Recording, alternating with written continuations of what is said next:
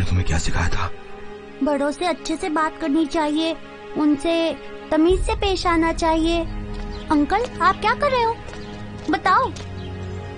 मुझे वो बंदा हर हालत में यहाँ पर चाहिए। जी हम पूरी कोशिश करेंगे।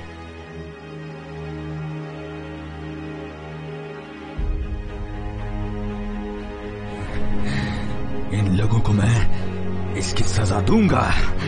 अगर हम दोनों सिंह के पास चले जाएँ और वेयरवुल्फ उसे दे तो पाँच लाख सीधे सीधे हमारे हो जाएँगे। पाँच लाख?